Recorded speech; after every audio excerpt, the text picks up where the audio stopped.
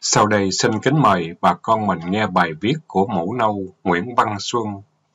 Một kỷ niệm với may fox Playgo. Khoảng giữa năm 1967, đơn vị về lại Pleiku sau cuộc hành quân thực tập cho lính mới. Sau khi bàn giao công việc cho thường vụ, tôi về phòng định làm một giấc cho khỏe. Bỗng điện thoại reo và an ninh ngoài cổng trại báo có người cháu trai khoảng 36-37 tuổi tới tìm tôi. Tôi lấy làm lạ. Vì các cháu tôi còn đang học trung học, đâu có cháu nào già vậy. Tôi đi ra tới cổng mới hay người cháu này là con một người anh bên nội. Người cháu này tên là Thời, nhìn rất giống ông anh họ tôi. Mặc dù đã 15 năm mới gặp lại, tôi vẫn nhận ra. Tôi đưa về phòng và thăm hỏi về gia đình cháu. Tôi vẫn biết cha mẹ Thời đã theo Việt Minh đi kháng chiến chống Tây và chưa hề trở lại quê nhà. Tôi cũng biết những năm kháng chiến, mới 17 tuổi, Thời đã từng là một đại đội trưởng của quân khu Cần Thơ, Cà Mau. Tôi chưa kịp hỏi, Thời đã vừa khóc vừa kể cho tôi nghe. Cha của Thời đã bị Cộng sản giết ở giai đoạn Cộng sản Việt Nam tiêu diệt những người quốc gia trong phong trào Việt Minh. Thời bị ép phải cùng mẹ và hai đứa em đi sâu vào vùng sát biên giới để làm công tác sản xuất nuôi quân. Sau hơn 10 năm phải sống trong bưng biển, Thời đã tìm cách đưa mẹ và hai em trốn ra vùng quốc gia. Sau đó, theo lời chỉ dẫn của bà con, Thời lên Pleiku tìm tôi và xin gia nhập biệt kích Mỹ, Mayfox. Hai ngày sau, tôi đưa Thời qua gặp đại đội trưởng Tống Trân để làm thủ tục gia nhập vào trinh sát.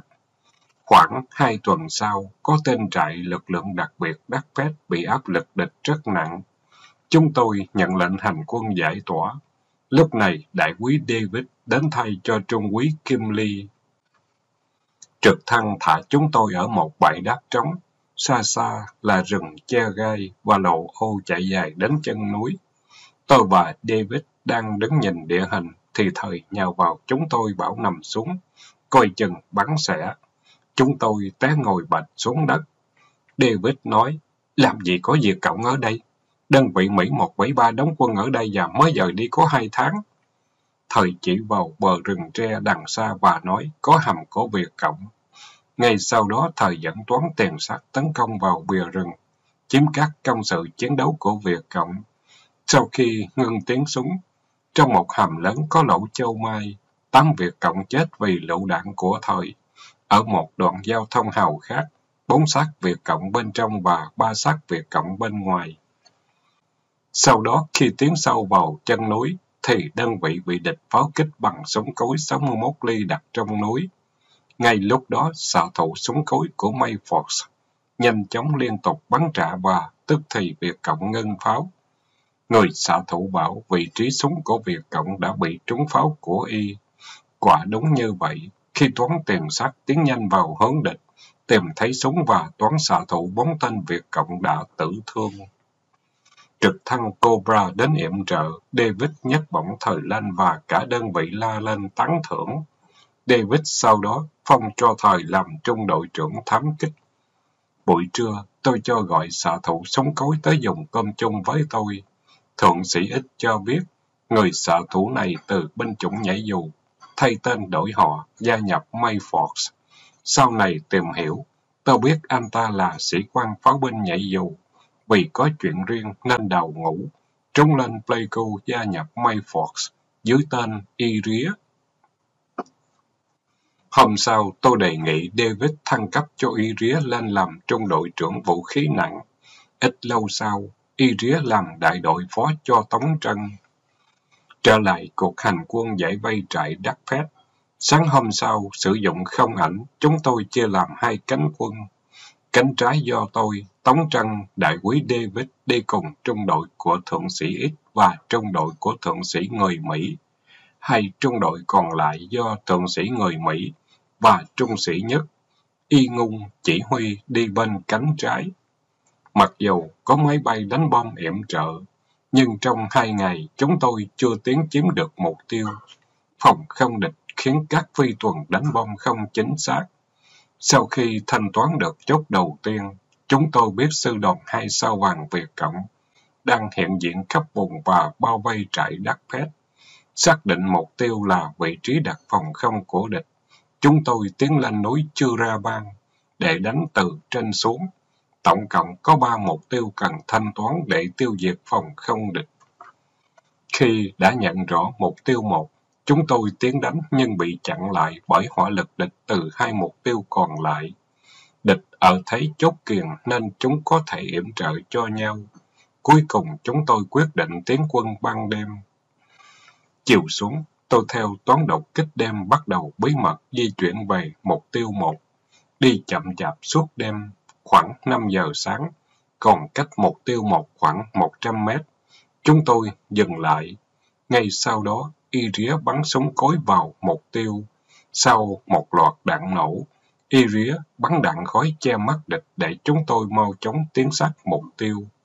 Khi đến sát ụ phòng không, chúng tôi đồng loạt sử dụng lựu đạn thanh toán mục tiêu. Tại đây, hai người lính may fox bị trúng thương do hỏa lực từ hai mục tiêu còn lại bắn qua. Bên trong vị trí đặt súng, 10 địch quân tử thương và 6 bị thương nặng. Súng phòng không bị phá hủy. Gần đó là một súng cối 80 ly và 4 xác địch. Trời sáng rõ, trực thăng Cobra và các phi tuần khu trục thay nhau bắn phá hai mục tiêu còn lại. Cuối cùng, bom xăng đã đánh trúng mục tiêu số 2. Tại mục tiêu số 3, chúng tôi đã gặp sự kháng cự rất mạnh vì địch đã được bộ binh tăng viện. Hai ngày sau, đại đội khăn xanh của Mayford cũng vào trận để tăng viện cho chúng tôi. Tuy thế, nhưng mãi ba ngày sau, chúng tôi mới chiếm được ụ súng phòng không cuối cùng của địch. Cho tới lúc đó, Mayford đã có đến 10 chiến sĩ tử trận và 5 người khác bị thương. Ngay sau khi vừa chiếm được mục tiêu số 3, chúng tôi bị địch quân phản công và pháo kích xối xả. Tôi bị thương vì pháo địch, một vết thương ở lưng, một vết thương ở chân phải và một ở cạnh mắt phải.